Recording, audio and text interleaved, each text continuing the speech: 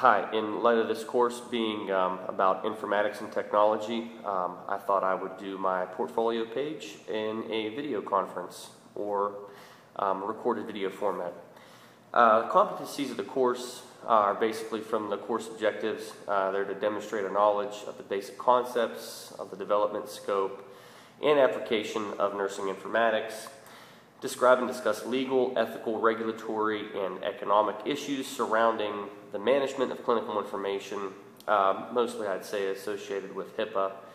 Um, also, to demonstrate use of selected information technology and terminology related to nursing informatics, uh, to apply informatics competencies needed for nurses practicing in the current healthcare environment and to discuss informatics applications for quality care and patient safety.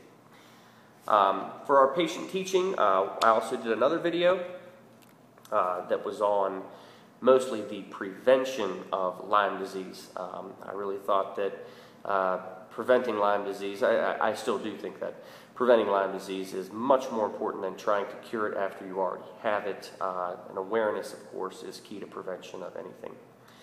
I think I may have mentioned that uh, uh, an ounce of prevention is worth a pound of cure, and that really speaks volumes uh, with Lyme disease. Uh, so that was my uh, patient teaching um, brochure. Well, it was a video as well, and I'll be attaching that video to the portfolio page as well. Uh, for our evidence-based practice portion, we had to create a care map based on current guidelines. we had to identify two nursing diagnoses for our patient. Uh, we also had to assign two uh, NIC and NOC criteria. And we also had to discuss what other medical or nursing interventions would be appropriate for the patient, knowing the current evidence based practice guidelines. Uh, and after reviewing some of the other students' um, papers or uh, concept maps on the discussion board, I recognize why mine got dinged for uh, a few points there. Uh, there were a couple of students that really did um, really good quality, uh, lots of color, um, and lots of cool links and stuff like that.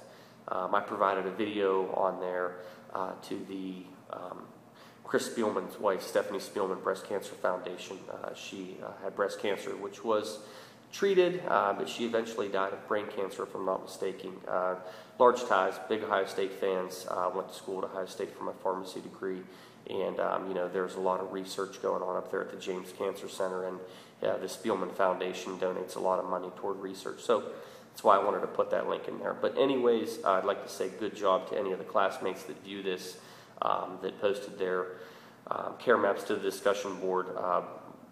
I, I, thought they were really well well done, um, very professional looking, um, a lot better than mine.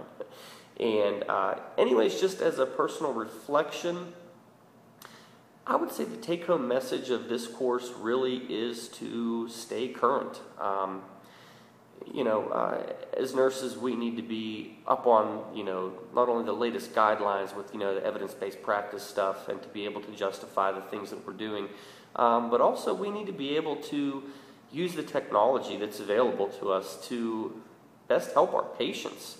You know, there's a lot of things built into these technological systems, um, you know, the, the ergonomic design and the user interfaces that are real quality to, um, you know, save money and or make money.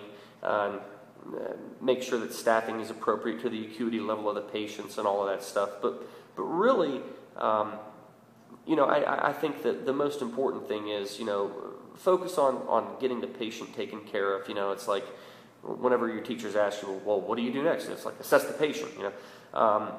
And, and, I think that's true with, with the, um, information technology and informatics as well. You know, this is all here to have better health outcomes for our patients. And that's what's really important. You know, uh, 30 or 40 years ago, uh, nurses may have thought it was crazy to have a machine uh, infuse an IV, you know, when, you know, well, how is it going to calculate the drip rate? You know, and now we're all saying, well, thank God that we can use a computer. We don't, we don't have to figure out this math to calculate the drip rate. Uh, it's kind of the same thing. I, I, think if we don't stay current and we don't keep up on the technologies that are available to us, you know, uh, we're all going to be doing long division in our head to calculate drip rates when we can just um, put it through a machine that's been tried and true and t- uh, tr- trusted.